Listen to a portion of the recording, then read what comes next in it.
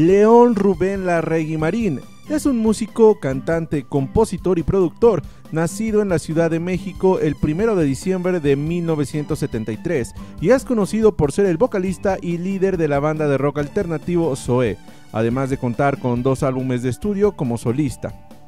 El músico también es conocido por el excelente trabajo lírico que muestra en sus canciones, donde nos muestra letras combinadas con el cosmos. Sin embargo, no poniendo en tela de juicio el excelente trabajo que desempeña como músico, si hay algo que cuestionarle a León, es lo mal que en algunas ocasiones maneja ciertas situaciones, las cuales al ser una figura pública llegan a resaltar demasiado y a generar polémica, desde tweets comprometedores hasta mostrándose en estado inconveniente en cámaras a nivel nacional.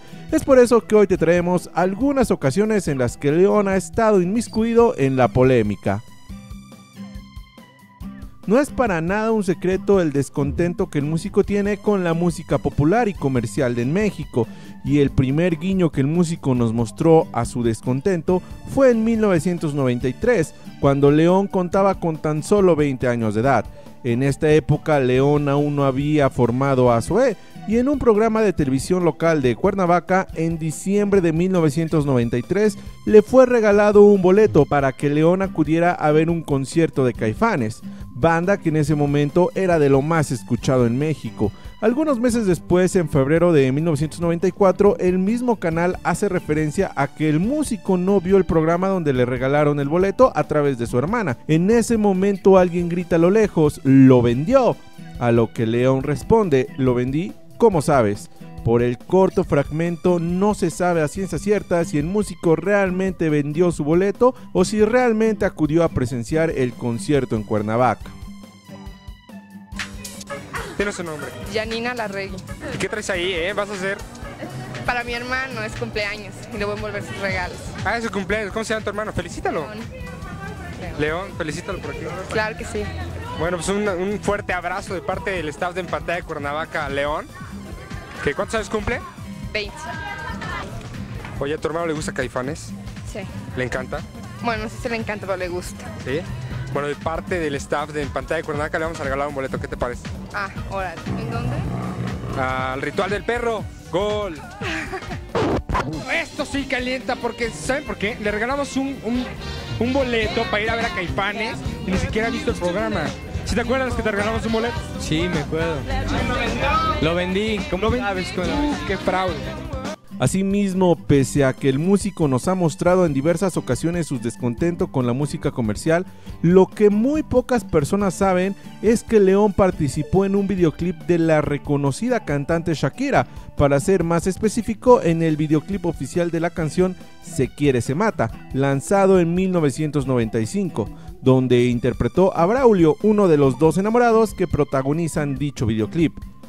Al día de hoy no sabemos qué tan orgulloso esté León de aparecer en un videoclip de una de las artistas más importantes a nivel mundial que encabezan la música popular del momento y quien incluso ha tenido colaboraciones con artistas de música reggaetón como Bad Bunny o Maluma, músicos que León repudia ya que nos lo ha hecho saber a través de Twitter en diversas ocasiones. El músico sin duda alguna en diversas ocasiones ha lanzado tweets muy comprometedores, opinando de otros géneros musicales o juzgando a músicos en específico. Uno muy sonado fue cuando externó su desacuerdo con la entrega de los Grammy Latinos del 2014, donde lanzó varios tweets a varios artistas como Camila, Calle 13 e incluso a Eugenio Derbez.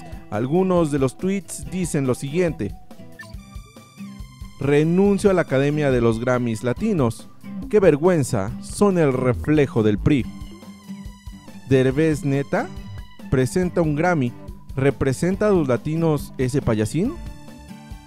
Lo peor que he visto en mi vida en la tele, Camila. Definitivamente, qué falta de gusto en general de absolutamente todo. La danza de los hipócritas, calle 13 refiriéndose a Calle 13 por manifestarse en el tema de Ayotzinapa, donde incluso Residente le respondió con una fotografía donde León posa muy contento con el músico de Calle 13, con el siguiente mensaje. Amigo León, estás invitado hoy a nuestro concierto a manifestarte junto a otros militantes. Un abrazo.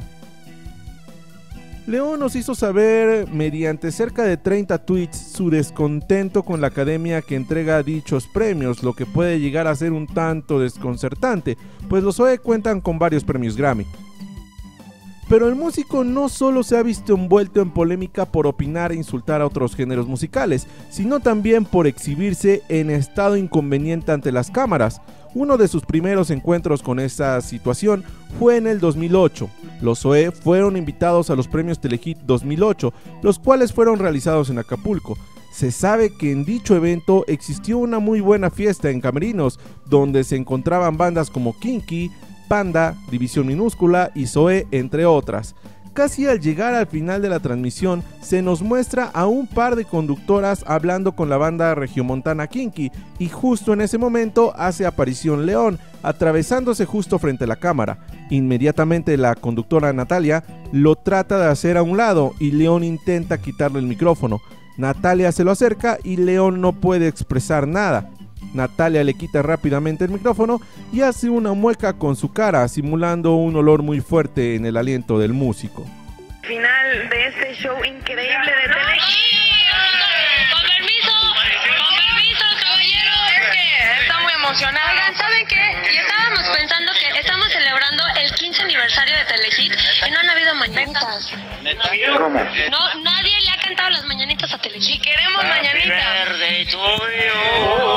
Happy birthday to you. Dilo norteño, pero ¿qué tal? ¿Qué tal? ¿Cómo es el estilo norteño? El estilo norteño es...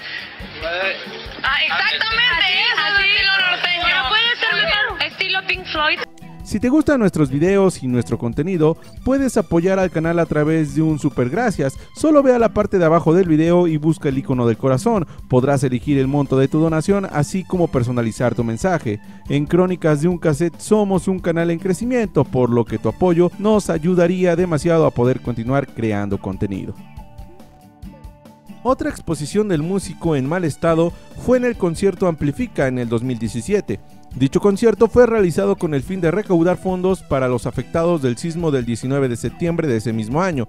Los músicos que participaron fueron Molotov, Mon Laferte, Kinky, Café Tacuba y Zoé. El concierto se llevó a cabo el 1 de noviembre del 2017 en el Palacio de los Deportes y se pudo observar a León Larregui en estado inconveniente en el escenario. Justo en la parte final del concierto, mientras Molotov interpretaba Gimme the Power, los demás músicos subieron al escenario a acompañarlos en la canción, y ahí es donde se le escucha a León arrastrando su voz y cantando la canción de manera errónea, además de sugerir que el nuevo grito de independencia se realizara el 19 de septiembre.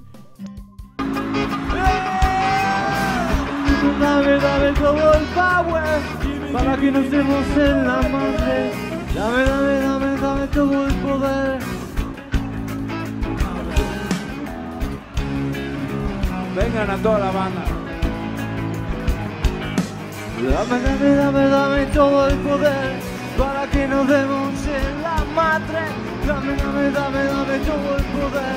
Joaquín como el niño joder. Dame, dame, dame, dame todo el poder para que nos demos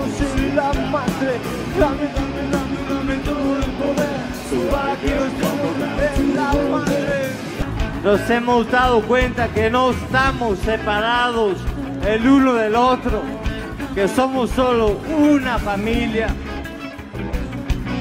una sola familia. ¡Arriba! ¡Arriba, back! ¡Arriba, back! ¡Back! ¡Back! ¡Back!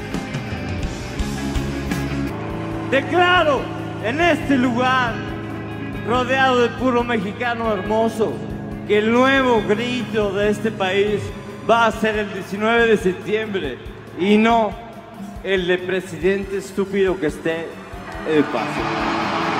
¡Eh! 19 de septiembre, el día que México despertó. La situación más sonada y conocida del músico fue en el 2010, mientras todo México centraba su atención en la inauguración del Mundial de Sudáfrica, donde la selección mexicana de fútbol estaría en el partido inaugural. Unos días antes, León Larregui se encontraba manejando en estado inconveniente, cuando logró ver a lo lejos un retén de alcoholímetro. El músico al percatarse de esto se regresó y estacionó la unidad en la que viajaba, lo que hizo que los oficiales identificaran su actitud como sospechosa. El músico descendió de la unidad y comenzó a caminar, cuando fue abordado por los oficiales, y al percatarse que se encontraba en muy mal estado decidieron arrestarlo. El músico puso resistencia y al percatarse que se trataba de una figura pública, los oficiales quisieron sacarle provecho y rápidamente informaron a diversos medios de comunicación, quienes no tardaron en llegar al lugar para tratar de entrevistar al músico. Los medios de comunicación se aprovecharon del mal estado en el que se encontraba León y comenzaron a provocarlo y a hacerle preguntas un tanto fuera de contexto, con el fin de que el músico expusiera aún más su mal estado, logrando su cometido y haciendo que incluso León se pusiera con una actitud violenta. El hecho fue muy sonado a nivel nacional y afectó la reputación del músico. Sin embargo, gracias al buen fan base con el que cuenta la banda, pronto los hechos pasaron de largo y se quedó solamente como un recuerdo en los fans de Zoe. Quiero denunciar al gobierno del Distrito Federal por la injusticia porque a mí me agarraron caminando en la calle. ¿Dónde te detuvieron exactamente? Aquí a dos cuadras. ¿Vives por acá? Obviamente, obviamente vi el alcoholímetro, me detuve, me bajé del coche, empecé a caminar y me detuvieron. Y para mí es anticonstitucional que te paren caminando. Si uno ya no puede caminar ebrio en la calle, es anticonstitucional y es un pinche fascismo que pinche brat. ¿Ya no vas a ver el mundial? ¿Voy a ver el mundial? Pues creo que lo voy a ver en la cárcel. Lo veré, lo veré con muchos, muchos mexicanos en la cárcel. Seguro habrá una tele en el Torito. ¿Y si no hay una tele en el Torito? No, o sea, obviamente va a haber una tele en el Torito. ¿Tú crees que pues, algún mexicano se va a perder el mundial? No, yo, yo voy a hacer revolución por esta injusticia. Ah, sí, Yo estoy, yo estoy arrestado, yo estoy arrestado injustamente. ¿Qué te estabas golpeando? ¿Con quién me está golpeando? ¿Tú solo? Tú solo estás pegando ahí adentro. Ah, estaba golpeando. Joder, que- imagínate que se siente estar ocho horas en una pinche Julia injustificadamente arrestado. ¿Vas a hacer una canción de este, de este acto? ¿Qué? ¿Vas a hacer alguna canción por esto? ¿Por esto? ¿Una canción? No tiene nada que ver, ni que fuera la lectora. ¿Por qué me pateaste la cámara, canal? ¿Por qué te? ¿Por qué me pateaste la cámara? ¿Por qué me pateaste? Porque te odio. ¿Me da pena? No, ¿no te da pena a ti estar así? Como idiota. ¿Tu mis canciones se ven chafas?